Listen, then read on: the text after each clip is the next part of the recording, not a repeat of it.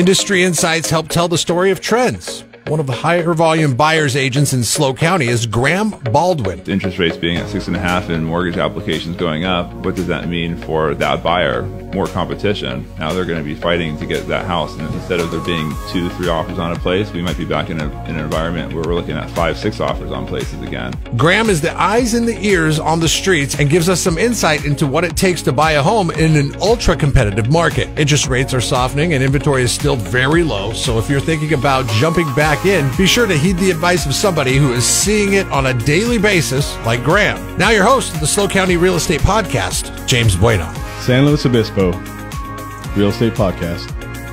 Doesn't know what to do with his hands, Mr. Hal Sweasey. Da-da-da. I felt like Bill Murray. Da-da-da. Da-da-da. Yeah. Well, you're supposed to pause for dramatic effect. So I'm pausing for dramatic effect. Well, your cadence is really enticing. Thank you. It's called I a appreciate pregnant pause. That. That's JT. JT, how are you, sir? Awesome. Are you kidding me? Get to be here with you guys. And our, our newest member that's back again, Mrs. Bobby Kelly. How are you? I'm lovely. Thank you for having me. We have this tall gentleman in the building. Yes. And who is he? Six foot six foot seven, drink of water. Six seven. Seven, six, eight. Six eight. Six eight. Six, eight. I always sell you short. You're not. You're there's. No, you're not Six, six eight. There's no way. Six, seven, and seven eighths. See, There you not- go. I go Yeah, six, eight. exactly, Have yeah. you ever stood next to him? I, I have. Yeah. Well, I'm by he's taller I'm than by you are. tall people all the time. Yeah, he's got his own All weather time. system up there. You've never heard that before, right? So that No, yeah. this is Graeme Baldwin, our top buyer's agent on the team, born and raised. Correct?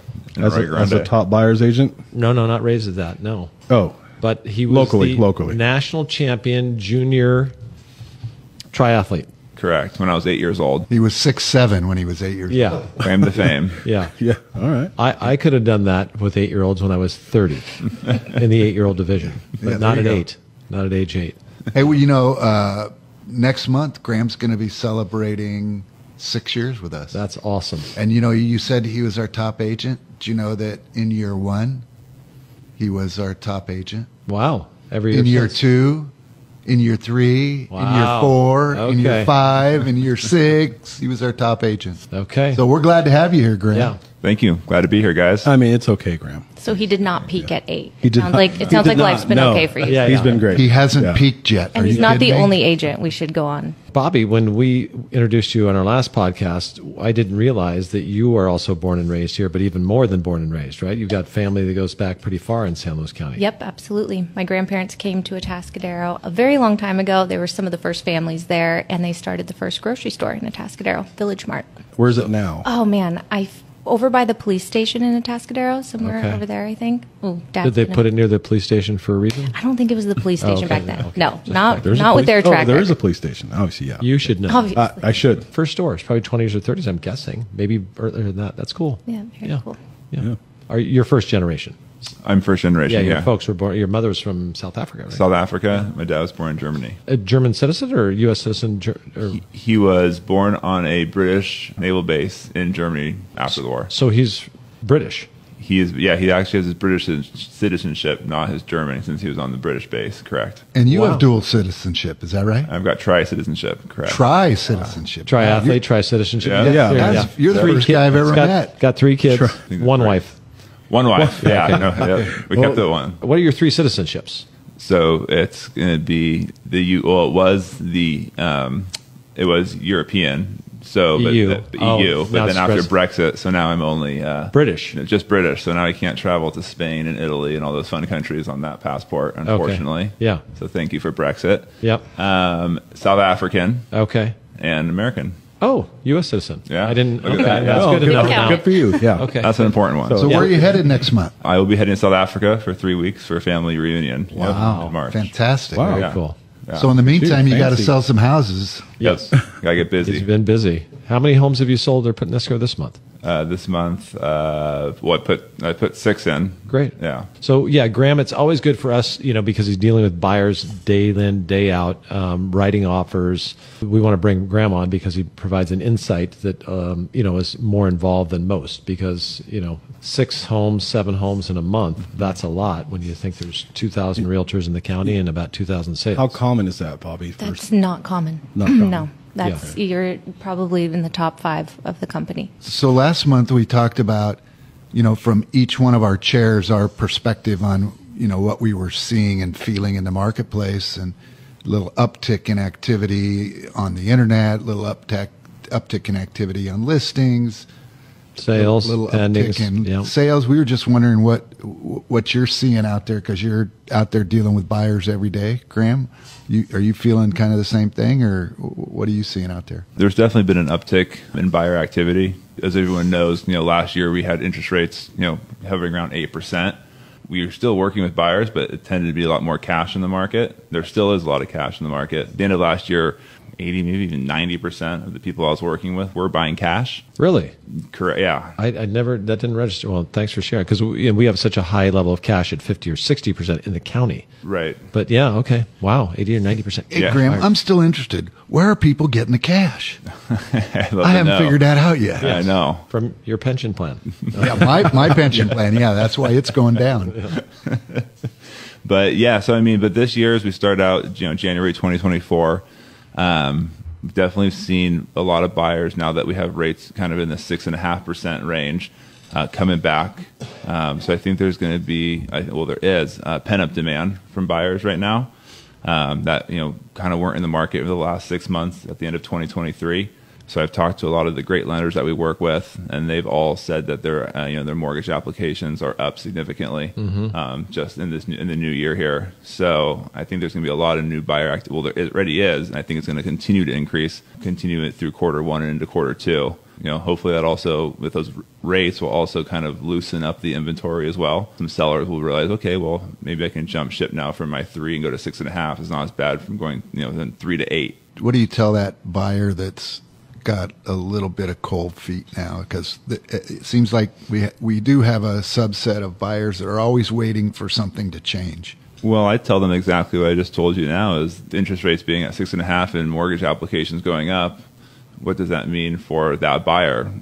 More competition. Now they're going to be fighting to get that house. And instead of there being two, three offers on a place, we might be back in, a, in an environment where we're looking at five, six offers on places again. For a buyer now, and they're serious that want to buy, sooner the better because prices aren't coming down. The only thing that's going to go up is competition. Why do you think you're so effective at getting offers accepted? Because your acceptance rate's really high. Yeah, I think the biggest thing for me is communication with the listing agent. I don't just take somebody's offer and email it over to the uh, listing agent, cross our fingers, and wait to hear back. I'm in constant communication, asking them how many offers they have in hand. You know, where I fish as much as possible to find out where those offers are at, so where we need to be. My job is to get the clients the house for the best price and the best terms, right? Sure. But I tell them my job is also to get you the house. It's interesting because I'm usually on the other side of that where offers come in, and I just find it fascinating, you know, that somebody would just take something so important as an offer on a home and just quote unquote mail it in. You know, I've heard you talking to other agents, and I, you know, we've worked on some transactions obviously together, and you know, just finding out what's important in terms of not just money but price and finding that information out. It's too bad because it's just communication. Where do most of the problems come from? Communication you know, or lack of it Lack of it. yeah. right? And, and that's not just a text or an email. So I, I think what you do is so good and so helpful for your clients, you know, and you find those things out. And plus, I think you've built good relationships because aren't you then when you get an offer, you're trying to sell that agent on your offer, your buyer, the loan program, everything. Yeah, exactly. There's a lot more that goes into it than just the price. Contingencies, figuring out how to be creative with those so that the seller is most comfortable with the offer, who who they're working with, is, you know, getting their loan through. Yep. Um, making sure that that you know, making sure that the good local lender that's got a good track record, um, and that that lender is also reaching out to the listing agent, vouching for the client, saying you know, letting them know that they're that they're solid, they're you know, underwritten, ready to go. There should be no hiccups. Um, so all all all, the, all those things from all different angles. So That makes a huge difference. I mean, Hey, the the fun part of this podcast is it's not rehearsed. Right. You know, we kind of make up our questions on on the fly. So, Dave Ramsey says uh, how important it is to select a, an agent based on experience. I never understood that. I, I, I I selected agents back before I joined your team. I selected agents based on referrals, and I didn't know a thing about about the agent. And yet, when I hear you talk about getting offers accepted, gosh, how important is it for your clients to know your track record? If Dave Ramsey said, go look for an agent with, with experience, what questions, Graeme, would you pose to a real estate agent that you were interviewing to be your agent? It, it's experience, right? How many times have you done this? And when you mean how many times have you done this, you, you're talking about what's your activity in the marketplace? How many transactions do you do in a given time period, like a year? and how, how to get those offers accepted in your strategies going forward that you've used in the past that prove results. And so if you've only done it three times a year, four times a year, you probably haven't seen as many things that pop up during the transaction, during the negotiations, and know how to deal with them and get over those hurdles. When you talk about building an offer, it would seem like to the outside world, building an offer would be a template and you fill in the blanks. Here, here's the price, here's the escrow period, here's this, here's that. You just fill in the blanks. Your offers are filled with incredible creativity. And where, did, where does that come from? Doing it a lot. You used to swim. you still know how to swim, right? I still know how to swim. Uh, yes. I mean, I got to imagine you had to practice a fair amount, I'm very Swimming. used to repetition. Yep. right? Yep. Yeah. And then, but you know how to do a backstroke or whatever the other strokes, a regular, what do you call them? I can do all the strokes. All the strokes, the swim strokes. Are you as fast as uh, Michael Phelps? I am not as fast as Michael Phelps, Got it. or else I probably wouldn't be selling real estate. Yeah. You bet you can beat him now. Yeah. yeah, right. Right? But you're better at, the, at real estate than he is. Yeah. That's that's true. Yeah. That is But, true. but I got to think at a certain level, the, the what you're working on is so small and nuanced in your how you swim. Right. The swim, stro- yeah, Yeah, okay. definitely. So, so what I see with Graeme is the nuances he's learned by doing this so many times. The little things like a defensive lineman, how they hold their stance, or pushing a little on the left to get a leverage and go right, or whatever that is. So it's it's not an uncommon process for him. Bobby loves it when we use sports I analogy. do. That's my favorite. you, you know, baseball season's 162 games. You're playing all summer long. You're playing every day, and that sounds like like your world where you're playing in the real estate business every day. You're showing property. You're writing offers almost every day, right? Yep, that is correct. So if you were on a baseball team before the game starts, what do you do? Warm up.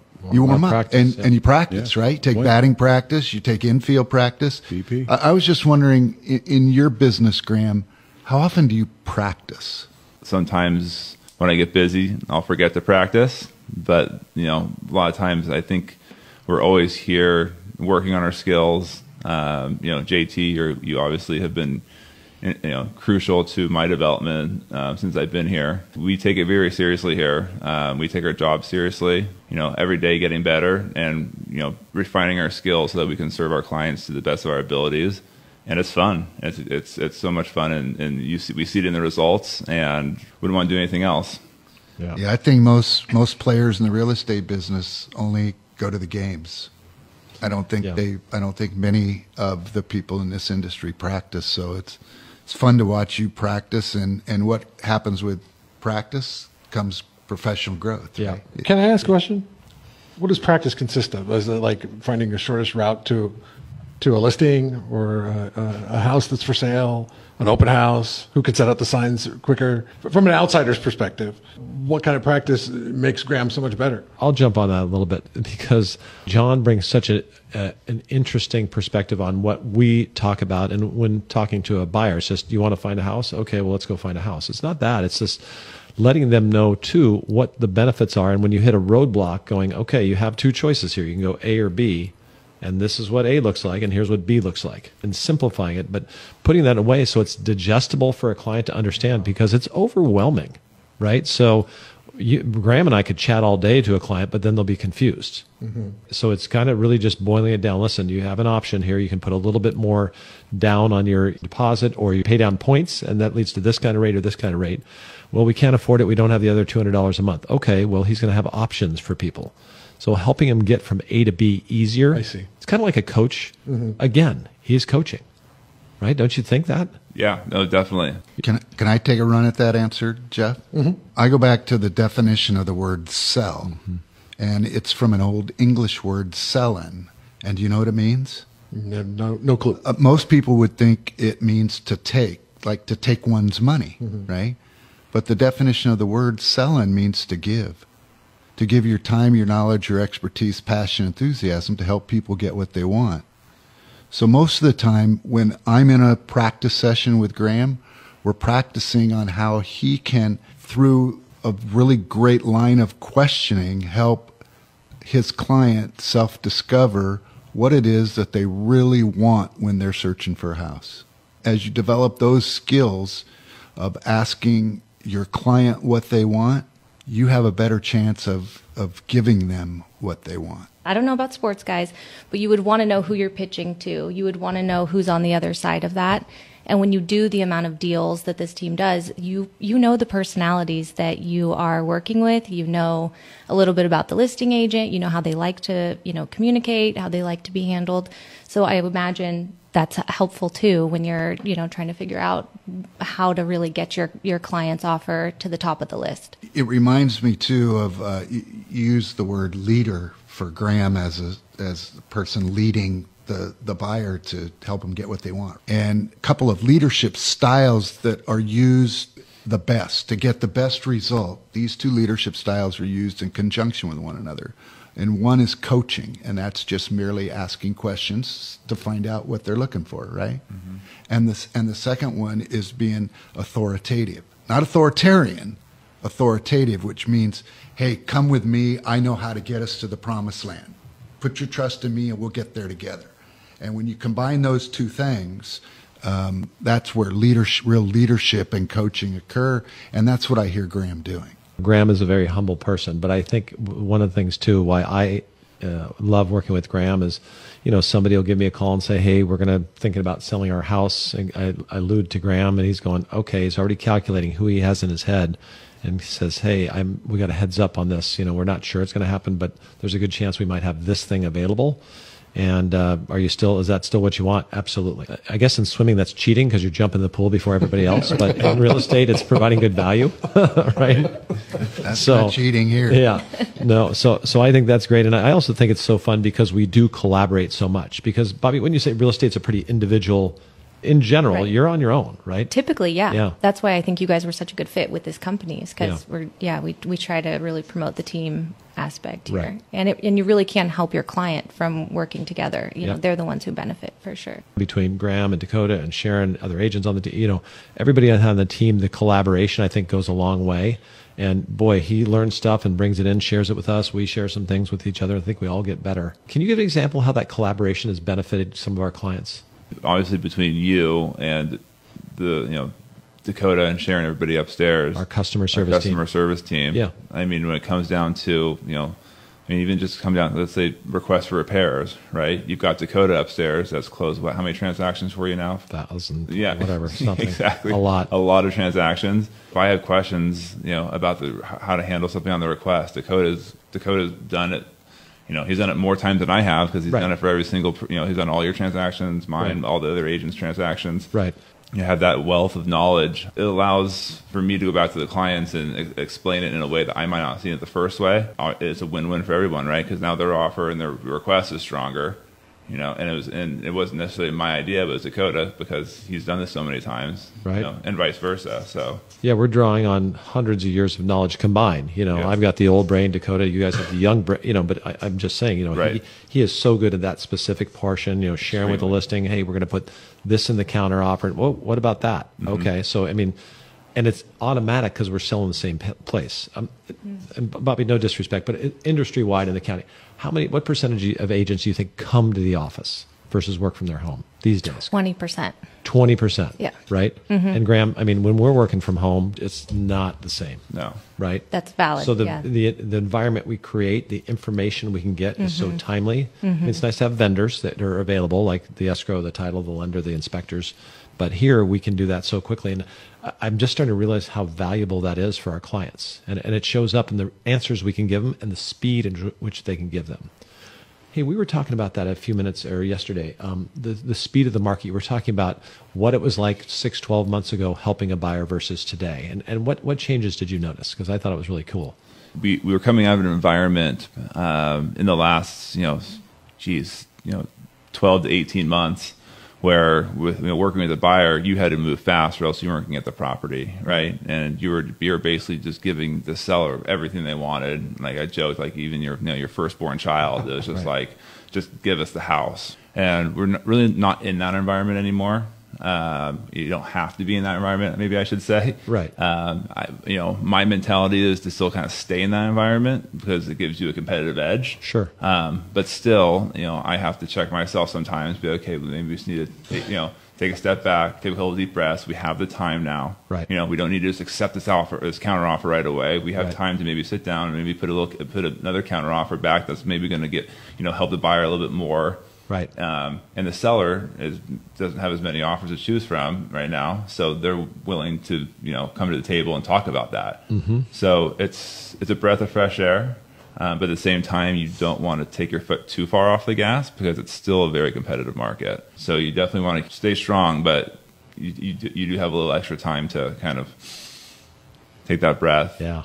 and, and, and, and really make sure you're, you're you're representing your client to your fullest ability. A little more balanced, right? Sounds like an art form. Yeah. Well, Like yeah. you- Yeah. Yeah. I mean, but even still, I mean, good properties, whether there's a recession going on or whatever, there's you somebody's going to come in and it can happen very quickly. Very. So that is a fine balance for sure. Yep. It's interesting because you just sometimes like, whoa, look at all the activity, and other times like, what happened to the buyers for this property? You, you never know. Exactly. Yeah. I think we could be back in a market that you described as 12 or 18 months ago before the end of the year again. Oh, geez. Here we go. Yeah. Buckle Fasten, up. fasten your seatbelts. Been yeah. there, done that. Yeah. Have fun on your vacation. Are you taking the kids? Yeah. Yep, we're all going. Yeah. Oh, man. how, how long a moly. flight? Um, on the well, on the way there, it's not too bad. It's two two back to back eleven hour flights. Ooh. And then on the way You're right. That's not bad at all. on, on the way there, It's not good either. yeah. Oh my on the- gosh. On the way back, it's a sixteen, uh, almost seventeen hour flight on the way back, and then a five hour after that, which is easy. So With three kids. And this goes back to the uh, whole practice uh, concept. I've, I've noticed um, my son plays uh, basketball, and y- your son plays basketball, and you're the coach. Correct. So he's had to deal with a bunch of first and second graders for the last several weeks, and that's all in preparation for what you have to deal with on your, on your travels, right? exactly, exactly. Yep, yep. Getting ready. Well, have fun. Thank Yes. you. Yes. Have fun. Be careful. All right. Anybody else want to share anything uh, before we wrap this up? I'm just glad. Virtually six years ago, Graeme and I were able to join forces. So it's been uh, it's one of the best decisions I ever made. So I appreciate having you on the team. Same here. Thank you, Hal. That was, buddy. that was thoughtful, Hal. Yeah. Great job. Yeah, it's true. Thank you, everybody. We appreciate it. Thank you for everybody that's watching and listening. Um, Graeme, you're amazing. So is everybody else on this team. Uh, we will talk to everybody next week. Thank you for listening to the Hal Sweasey podcast. Be sure to subscribe and rate this podcast. Check for it in your feed for the latest information on the San Luis Obispo County market. The SLO County Real Estate with Hal Sweasey podcast is available wherever you get your podcast and on halsweasey.com where you can find current listings and other real estate tips. Halsweasey.com, that's H A L S W E A S E Y.com. I am James Bueno, Director of Marketing for the Hal Sweasey Group. If you're looking for anything real estate, give us a call 805 781 3750. San Luis Obispo Real Estate Podcast with Hal Sweasey is also on YouTube. Now you can see people talk about real estate in one of California's hottest markets. Get the latest episode on the podcast page at teamsweasey.com or subscribe to Hal Sweasey on YouTube. Hal Sweasey is a licensed California real estate broker. DRE number 011119111. The SLO County Real Estate with Hal Sweasey podcast is a production of AGM Podcasts. Subscribe wherever you get your podcasts.